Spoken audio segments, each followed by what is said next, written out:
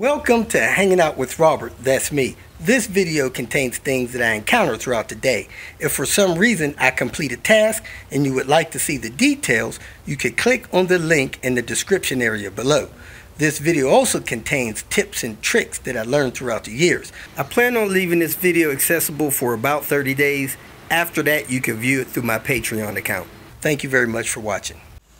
Here I am, folks, kicking it off at two stack jacks.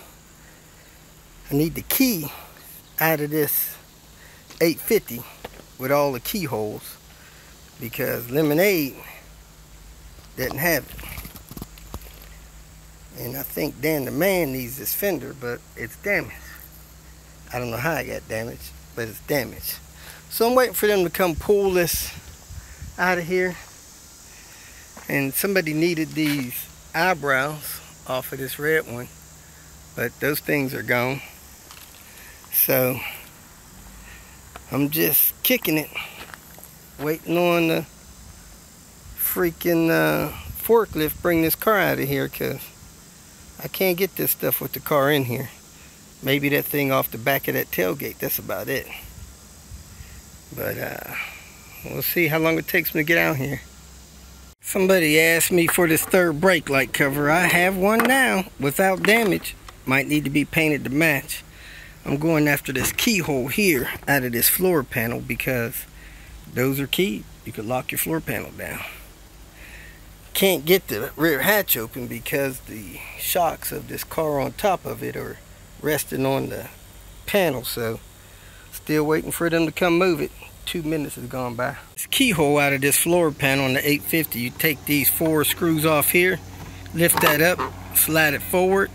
Actually, this end just pops up now you undo this little latch thing here and that lifts up and off of there. Looks like prying this little clip out here is what'll get it loose. So let me take something to pry bar and pry this piece toward this way and that'll release this thing. It'll fall out I'll have it to take with me. I slid this off. Now this should come out. Do do do do do. There it is, folks. I got it. Now I need to get the one out of the glove box. I slid that clip back in there. Hopefully I won't lose it. I'm going to put all this stuff in a bag. Let me see if I brought a bag with me. Might be able to squeeze in here and get this door off. Let's see. It's a squeeze. Sounds like the truck is coming. Maybe that glove box door will be some kind of good. Let me check that as well. And I know those end pieces, people always need those. The other day I could have swore this thing had two keys. Now I can only find one. But it looks like the master key. Heck, it unlocks both doors, turns the ignition. Let me see if it unlocks this. It unlocks the rear tailgate too, so it's probably good. I gotta order another key. Hopefully they'll let me order one with this salvage yard VIN. So it's not this car with two keys. It's that sedan up there with two keys. And Lucille needs keys, so I might pull those out of there as well. That says 1993. I guess all that stuff is the same. We'll see. I need to find the VIN number on this one. I guess I'll get it off the door. All this other stuff is contaminated. Can I even see the VIN on here? Yesterday, I went to order a title for the car Elizabeth's driving, and I forgot that I replaced that door. And that lady didn't say nothing about that VIN being wrong. So hopefully she's not going to be tripping on that. This does not look like a 93. Doesn't have 93 lights and stuff, so probably newer than that. Let me see if it, oh, the hood's closed.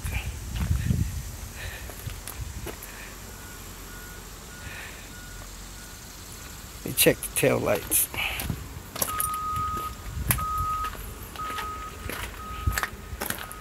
Uh, it's a 93 or a 94. Looks like a 94 to me. Wasp go in there. Wasn't looking forward to that happening. That thing's got clean tail lights over there, but this got bad tail lights. I think I got a lower light over there for Byron's car. Anyway, let me see if I can get this thing off here since I'm still waiting on the forklift 30 minutes later. Since this is unpainted and the one on Lemonade is painted, I'm gonna try to take this key barrel out of here. So I'm gonna remove this clip right here, pull that out, see if I can get that key out. Get a screwdriver and try to work that off.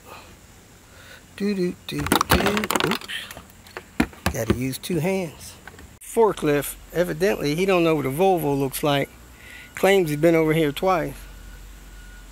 Volvo start right there. They end right there. You ain't been over here twice. I've been here for an hour. Made a mistake and wore my new shoes out here. Hope I don't get them trashed out. And I think I'm going to go up there and get that key set out of that vehicle. I shouldn't need his help to do that. So let me get this driver's door handle out of this gunmetal gray. Then I'll go get the stuff out of there. Oh, I need to get the ignition too. That's going to suck with all that glass in there. Finally found his way out here. So let me see if I can get these keys out of here. And hopefully the keys in that car works on everything. But man, the ignition is going to be tough to get out of here with all this dang glass.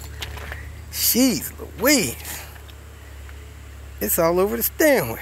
I'm not sure of the technical name of these connectors, but they're in several places on these mid-90 Volvos. This is the door light, and here's a female connector. The light bulb plugs into this.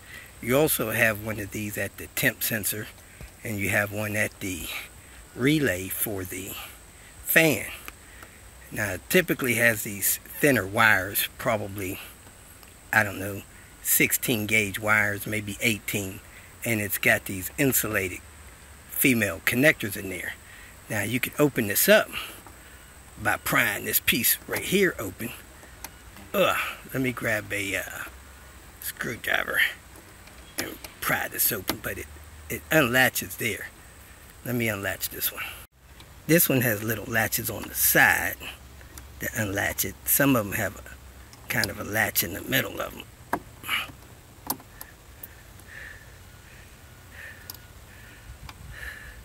Got one side undone. Let me get the other side undone. I can do it with my hands. Once you pop it open like that, you can fold that back and then slide these connectors out. Now what happens over time, these deteriorate and then when you unplug them from the male ends, and try to plug them back in. Because all of this is deteriorated on the back of these I'm going to show you how a new one looks. The plug backs out when you're trying to plug it in so it doesn't have a good connection. So you got to make sure you get a good connection. You don't have to have this piece but it's good for a, a insulator and protector and a latch. But you could push these wires on your male connector and be okay. Let me show you what the new insulators look like because they sell them on Swedish car parts website. I'm trying to figure out how to get the key out of the rest of this steering yoke thing. I'm not sure how that comes out. Sure how this key parts comes out of this column barrel, but we'll see. Probably drive those pins out, but I'm not sure. So I asked a question on the forum. We'll see what comes up. Do do do do do do do. Yeah, this is kind of a mess.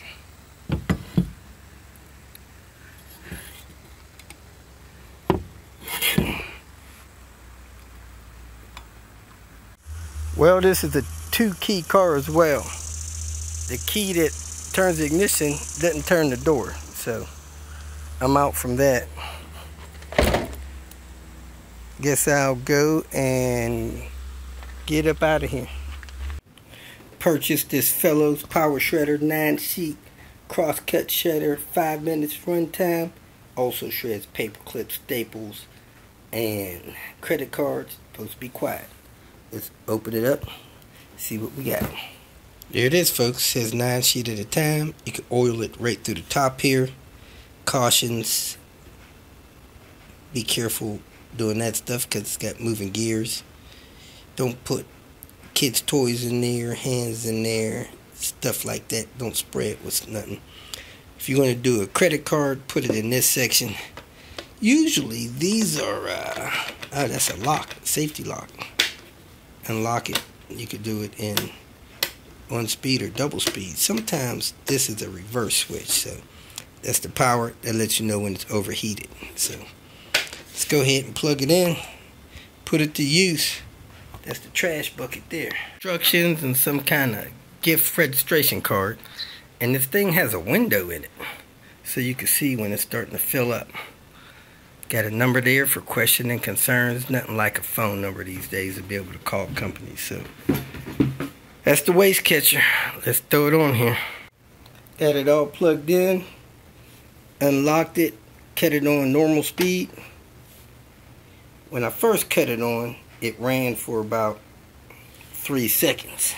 So me, I don't like getting mail that has my name on it, applications and stuff like that. So I like to shred that kind of stuff. Oh, this stuff here is just trash, so let me find something to shred. Guess I can shred this just for practice. Couple envelopes. Couple of envelopes. Man, I can't even see it down in there. Let me turn the light on, see if we can see it. Yep, there it is. Down in there. Did a great job. I'm going to turn it over to this other setting. See what that does. Ah, that's a reverse. In case something gets stuck. Put it back to forward. And there it is. Back and forward. Nice. Like it. Alright, let's find some stuff to shred and keep this cleanup process going through this old mail. Found that title for that donor vehicle I need to mail out. Getting that in the mail today. If you feel that this information was useful, please like it and share it with your social media friends. You can subscribe to my channel so that you will get notifications of future videos that I post. You can follow me on Twitter, and if you need to contact me directly, please visit my website. And if you have any questions, leave them below, and someone or myself will reply to them. Again, thank you very much for watching.